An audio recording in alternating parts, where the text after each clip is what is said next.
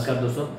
रीढ़ की हड्डी के टीबी से जुड़े हुए चार सबसे कॉमन सवाल और उसके जवाब। सबसे पहला तो रीढ़ की हड्डी का टीबी जो होता है, वो कैसे होता है? हमारी सांस में से, हमारी ब्रेथ में से टीबी के बैक्टीरियाज जाते हैं, वो सबसे पहले ब्लड में जाते हैं और ब्लड वेसल से वो हमारी रीढ़ की हड्डी में पहुँचते हैं। वहाँ ग्रेजुअली पस बनना शुरू होता है और हमें टीबी के सिम्टम्स आना शुरू कर शुरू होते हैं। दूसरा, रीढ़ की हड्डी के टीबी के सिम्टम्स क्या होते हैं? सबसे पहले तो किसी भी मरीज़ को अगर टीबी हुआ है तो उसमें रीढ़ की हड्डी के टीबी में कमर दर्द होना शुरू होता है और उसके बाद में किसी भी मरीज़ को अगर पस बढ़ जाता है, नस के ऊपर दबाव बढ़ जाता है तो फिर उसमें नीचे मतलब कि पैर में सिम्टम्स आने शुरू हो जाते हैं। पैर में जैसे ही सिम्टम्स आते हैं, दोनों पैर में भारीपन होता है, कमज़ोरी आनी शुरू होती है और झुंझुनी होनी, चलने में दिक्कत होनी, ये सब सिम्टम्स शुरू हो जाते हैं।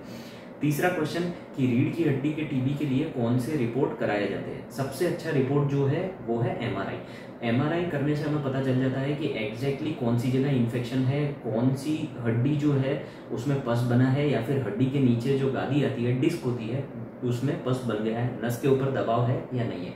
और दूसरा, कि सबसे अच्छा टेस्ट इससे भी अच्छा जो डायग्नोस्टिक है, वो है बायोप्सी जो भी हड्डी में इन्फेक्शन लग रहा है, उसमें से बायोप्सी ली जाए लैब में सैंपल भेजा जाए और वहाँ पर से ग्रोथ होने पर पता चल जाए कि इसमें टीबी है और कौन सी दवाई इसमें इफ़ेक्ट दे सकती है। और चौथा, कि इसकी ट्रीटमेंट क्या होती है? इसकी ट्रीटमेंट 99 परसेंट केसेस में सिर्फ़ दवाई होती है। दवाई डेफिनेटली आपको लंबे टाइम लेनी पड़ सकती है, जैसे कि 12 महीने से लेके 18 महीने तक दवाई लेनी पड़ सकती है। और दूसरा है ऑपरेशन ऑपरेशन हंड्रेड में से सिर्फ़ एक जन मतलब सौ में से कोई एक दो जन ही होते हैं जिनको ऑपरेशन की ज़रूरत पड़ सकती है।